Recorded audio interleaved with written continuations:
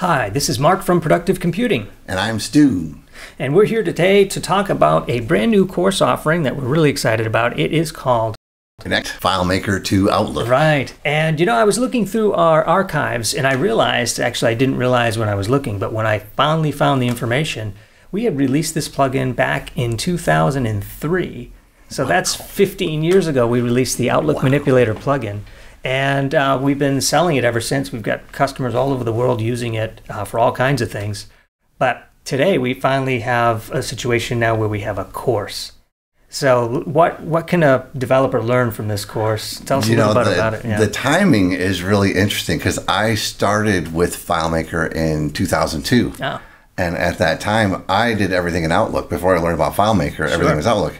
And so the plugin came out, but I will honestly say when I first got started as a developer, plugins were that's for somebody else. Mm-hmm. I can't do that. It was too intimidating. It didn't understand it. So I really wish I would have had this course way back then, which is why I did I never did the plugin. Basically, in this course, we go from start to finish. We start with an empty database and we start building from scratch and we go through contacts and tasks and mail and notes and calendar, how to push, pull, delete all of that side by side or mouse to mouse, mm-hmm. and uh, you just see all along because there's over 75 pages of documentation. Oh. So if you wanted to try and do this on your own, it's going to take you a lot longer than the course. I know because that's what I did. I didn't know how to use the plugin when I started looking at all of it.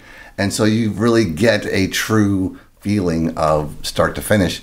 And I, so I wish I would have had this course back in 2003. It would have made a world of difference. Oh, yeah.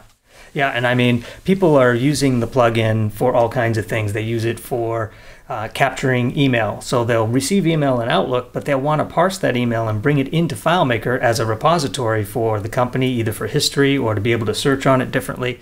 Uh, another big use for Outlook is pushing calendar events. So let's say you have your list of calendar events right. in FileMaker, just a simple list, but it brings on a whole new meaning when you can push that to Outlook and have it in your local Outlook calendar or even within the Exchange environment.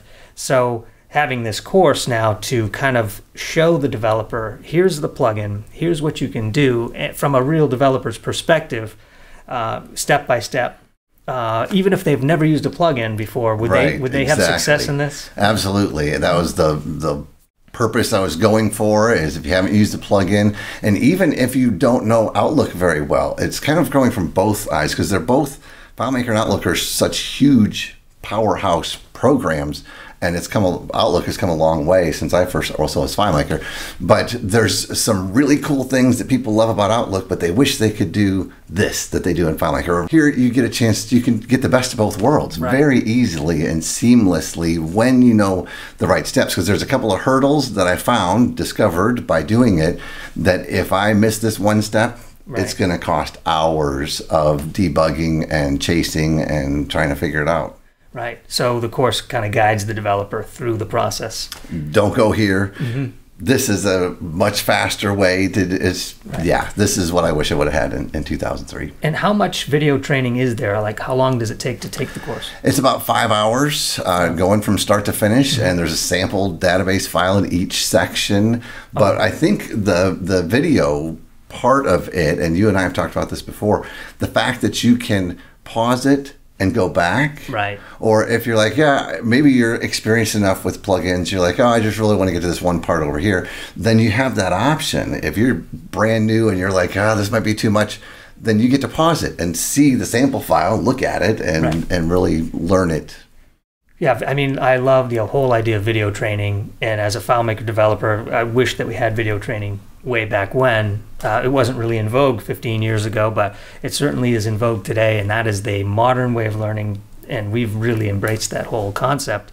So we have a full-fledged university, and this is one course of many. Uh, and I think that we just released a bundle opportunity where you can, for one single price, you can have your run of the house and have every course available.